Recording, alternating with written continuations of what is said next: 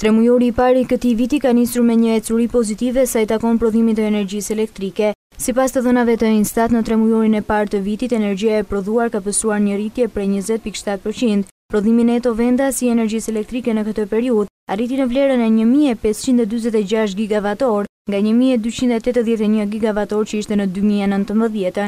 Ndërkohë, për të njëjtën periudhë, sipas raportit Energjia elektrike në dispozicion, u rrit me zero pikë nëntë për qind. Në këtë tremujor të parë të vitit, kontributin më të madh në prodhimin e energjisë e kanë pasur hidrocentralet private dhe koncensionet, me pesëdhjetë e një pikë gjashtë për qind. Më pas janë hidrocentralet publike në masën e dyzet e tetë për qind, ndërsa në kuotë tepër minimale është energjia e rinovueshme, me zero pikë katër për qind të prodhimit neto të energjisë elektrike. Kjo rritje e prodhimit është shoqëruar edhe me rritje të eksporteve në masën katër pikë një herë më shumë se në dy mijë e nëntëmbëdhjetë, ndërsa importi u rrit me një herë. Por, gjithashtu janë rritur edhe humbjet në rrjet me tetë për qind, ku ndikimi më i madh ka qenë nga humbjet në shpërndarje. Por, nga ana tjetër, ka rënë me një pikë pesë për qind përdorimi i energjisë elektrike nga konsumatorët në tremujorin e parë të dy mijë e njëzetës, dhe ndikimin më të madh e kanë dhënë konsumatorët jofamiljarë, të cilët kontribuan negativisht me tre pikë dy përqind dhe konsumatorët familjarë kanë rritur konsumin me një pikë tetë përqind.